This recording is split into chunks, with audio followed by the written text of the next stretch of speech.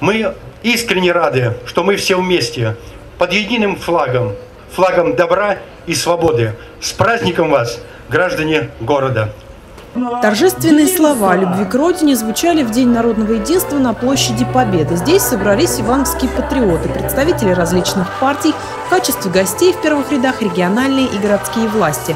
Традиция отмечать победу ополченцев Минина и Пожарского над польскими интервентами в этом году 11 лет. Из года в год праздник собирает все больше горожан. Мы соотечественники, жители Великой России. Мы гордимся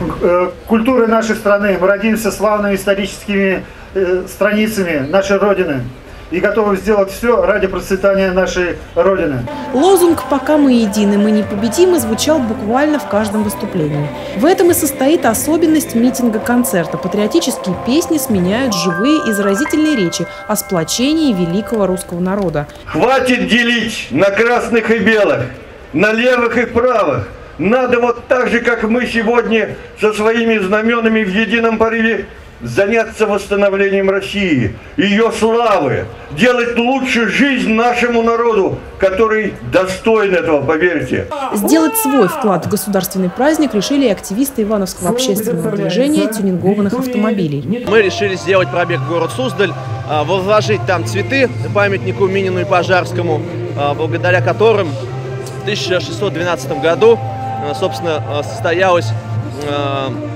освобождения от польского э, завоевания. В этот раз собравшиеся мероприятия не затягивали. Кратко вспомнили о событиях смутного времени, возложением цветов почтили память героев, отстоявших свободу государства. Погода к словоблудию не располагала. Весь митинг-концерт уместился в полчаса. Мария Смирнова, Денис Денисов, РТВ Иваново. О ромашках, озерах,